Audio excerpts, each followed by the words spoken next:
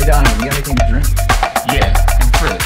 Hey Josh, uh, grab me a glass of milk. They don't have any milk, but I can get you some milk. That's what he just said. Yeah, I just want some milk. No, you're saying it wrong. You're saying mouth. Like it's a disease.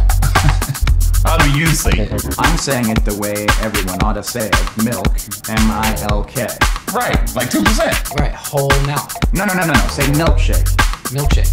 Okay, now say milk. Are you hearing this? Yeah.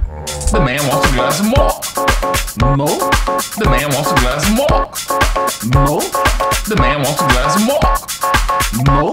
Give him the milk, Josh. Donovan, inside voices, please. Sorry, Dad. Josh! Pour me a glass of milk! The man wants a glass of milk. Pour me a glass